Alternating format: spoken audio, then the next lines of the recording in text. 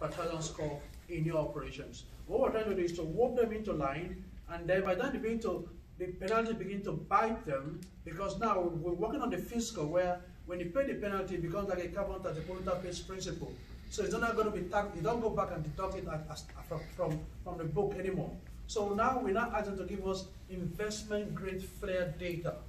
And that's what investors need to take to the banks. So we've been able to do that with the World Bank and the USAID, and our development partners.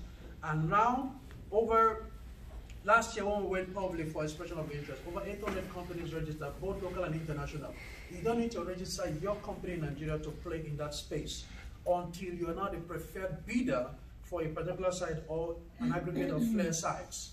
So at the end of um, March this year, over 250 became qualified applicants as opposed to over 250, uh, 260 that submitted their qualifying statements. Now we've registered them and then we're now trying to finalize the request for proposal package, which we will give to the 245 qualified applicants and then they will become bidders. Now here is the thing. Most of you will like, you've gone fast, so why are you here, Justice?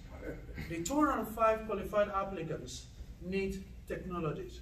When we look at their submissions, most of their submission in terms of the technology that they're bringing to deploy does not give us 100% solution. Now we've told them. So we had a workshop called Qualified Applicants Workshop to make them understand the forthcoming request for proposal package to say, we are not we are not agnostic to technology that you bring to bear, but it must have an end-to-end -end solution.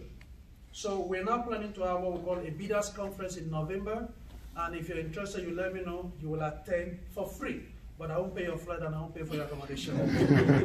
so at, at our workshop, that conference is going to be B2B and I'll have the opportunity to connect with you. Some of these bidders